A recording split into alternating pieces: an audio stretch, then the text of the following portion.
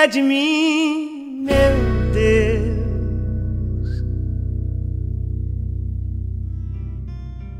Irmãos e irmãs, paz e bem. No terceiro dia da trezena de Santo Antônio, vamos refletir sobre a alegria cristã.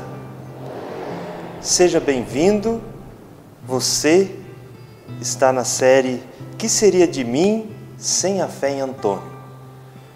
Santo Antônio compreendeu em sua vida que o motivo da alegria maior de cada cristão está no encontro com o Senhor Jesus. Para ele, estar com Deus deve ser motivo de constante alegria.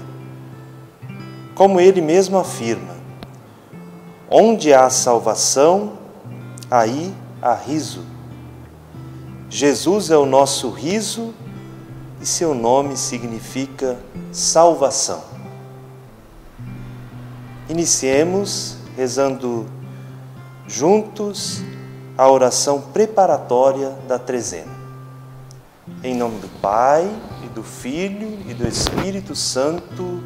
Amém.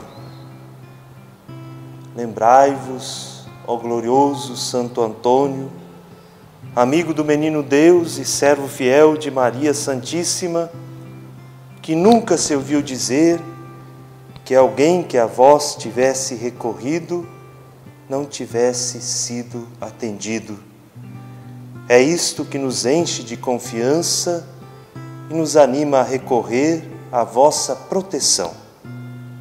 Com humildade nos dirigimos a vós para falar das nossas necessidades. Atendei a nossa oração. Vós que tanto podeis junto ao coração de Jesus, fazei que obtenhamos a graça que confiante vos pedimos. Amém. Neste momento da oração da trezena, vamos ouvir um trecho de uma das homilias da quaresma feita por Santo Antônio, em que ele fala sobre a alegria.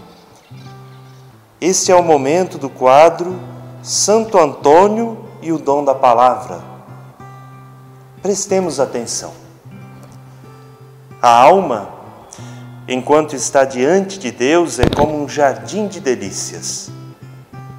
Que delícia maior, que alegria maior pode existir no espírito da criatura humana do que estar diante dele, com o qual e no qual tudo o que existe verdadeiramente existe e sem o qual tudo o que parece existir nada é, e toda abundância é pobreza? Pois ensina-nos o livro dos Provérbios.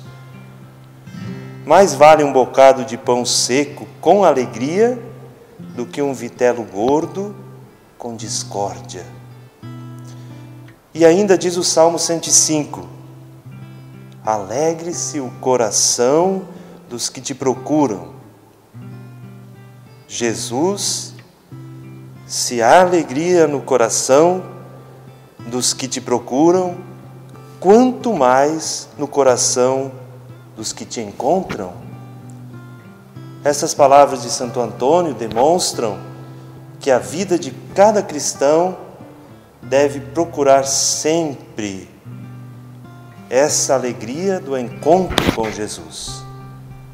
Essa alegria que dá sentido, que faz com que a vida de cada cristão seja um testemunho verdadeiro da boa nova, do anúncio de uma grande alegria de se estar na companhia de Jesus e de poder anunciar a alegria de sua ressurreição. Essa mesma alegria que Santo Antônio fala, nós vemos em São Francisco, São Francisco falando da perfeita alegria que é de fato uma comunhão com Deus, tornando também cada um de nós uma fonte da presença do Cristo ressuscitado. Vamos então agora à bênção de Santo Antônio. O Senhor esteja convosco, Ele está no meio de nós. Rogai por nós, glorioso Santo Antônio para que sejamos dignos das promessas de Cristo. Eis a cruz do Senhor, Pai, Filho e Espírito Santo. Afastem-se de vós todos os inimigos da salvação, porque venceu o leão da tribo de Judá, descendente de Davi, Jesus Cristo, o nosso Senhor. Amém. Oremos. Alegre Senhor, vossa Igreja, a intercessão votiva de vosso confessor e doutor, o glorioso Santo Antônio, para que se fortaleça sempre com espirituais auxílios e mereça desfrutar os gozos eternos. Por Jesus Cristo, nosso Senhor. Amém. Rezemos então agora a oração que Cristo nos ensinou. Pai nosso que estais nos céus, santificado seja o vosso nome, venha a nós o vosso reino, seja feita a vossa vontade, assim na terra como no céu. O pão nosso de cada dia nos dai hoje, perdoai as nossas ofensas, assim como nós perdoamos a quem nos tem ofendido, e não nos deixeis cair em tentação, mas livrai-nos do mal. Amém. Ave Maria, cheia de graça, o Senhor é convosco, bendita sois vós entre as mulheres, e bendito é o fruto do vosso ventre, Jesus. Santa Maria, Mãe de Deus, rogai por nós, pecadores, agora e na hora de nossa morte. Amém. Glória ao Pai, ao Filho e ao Espírito Santo, como era no princípio, agora e sempre. Amém. Vamos então agora à oração final.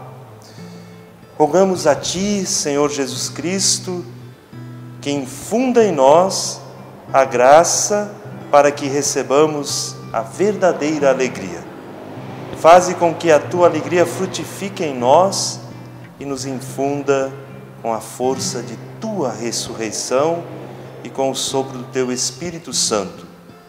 Revigora-nos, Senhor, assim como fizeste com os teus apóstolos após a tua ressurreição e faz-nos superar toda a tristeza. Santo Antônio, rogai por nós. Amém. Fiquem com Deus. Que seria de mim, meu Deus, sem a fé em Antônio? Que seria de mim, meu Deus, sem a fé em Antônio? A luz descer do céu, clareando o encanto da espada espelhada Deus. Viva a vida, meu santo. Que seria de mim?